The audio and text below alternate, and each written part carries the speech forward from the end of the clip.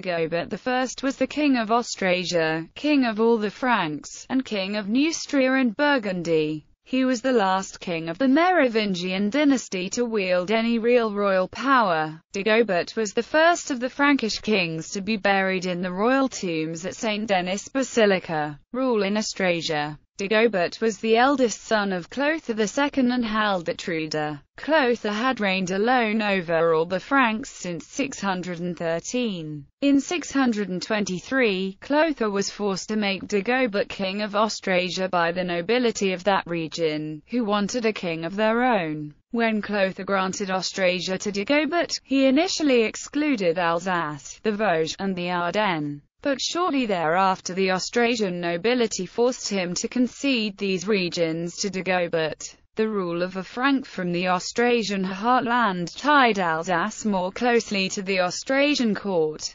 Dagobert created a new duchy in southwest Austrasia to guard the region from Burgundian or Alemannic encroachments and ambitions. The duchy comprised the Vosges, the Burgundian Gate, and the Transjura. Dagobert made his courtier Gundua the first duke of this new polity that was to last until the end of the Merovingian dynasty. United rule. Upon the death of his father in 629, Dagobert inherited the Neustrian and Burgundian kingdoms. His half-brother Charibert, son of Sichild, claimed Neustria but Dagobert opposed him. Brodulf, brother of Sichild, petitioned Dagobert on behalf of his young nephew, but Dagobert assassinated him and gave the Aquitaine to his own younger sibling. Charibert and his son Chilperic were assassinated in 632. Dagobert had Burgundy and Aquitaine firmly under his rule, becoming the most powerful Merovingian king in many years and the most respected ruler in the West. In 631, Dagobert led three armies against Samo, the rulers of the Slavs, but his Austrasian forces were defeated at Wogastisburg.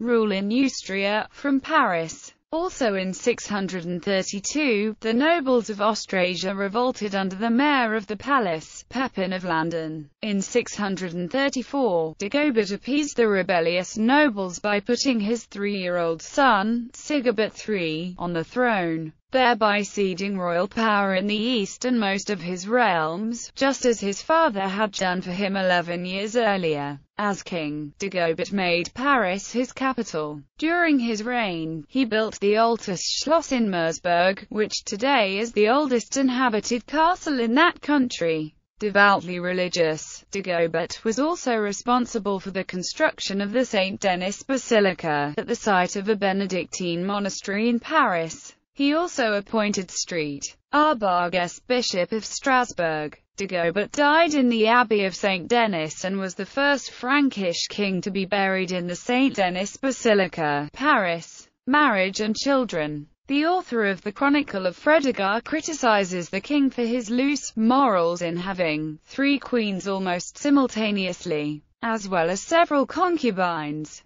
The chronicle names the queens, Nanthild and the otherwise obscure Wulfgundis and Berchildis, but none of the concubines, stating that a full list of concubines would be too long. In 625 6 Dagobert married Gormotruda, a sister of his father's wife Sichild, but the marriage was childless. After divorcing Gormotruda in 629 30 he made Nanthild, a Saxon servant from his personal entourage, his new queen. She gave birth to Clovis II, later king of Neustria and Burgundy. Shortly after his marriage to Nanthild, he took a girl called Ragnetruda to his bed, who gave birth to his youngest son, Sigebert III late of king of Austrasia. It is possible that Regentrude, abbess of Nonnberg Abbey, was also a child of Dagobert. She married into the Bavarian Agilolfing family. Coinage Triens of Dagobert I, oozes, 629 to 639, gold 1.24 grams, Monnaie de Paris. Solidus of Dagobert I, Marseille, 623 to 629. Cabinet des Médailles, Triens of Dagobert I and Munnia Romanos, Orgona, 629 to 639, gold 1.32 grams. Monnaie de Paris. Source. Cawley, Charles, Medieval Lands Project on Dagobert I, King of the Franks, Foundation for Medieval Genealogy. Retrieved August 2012, better source needed.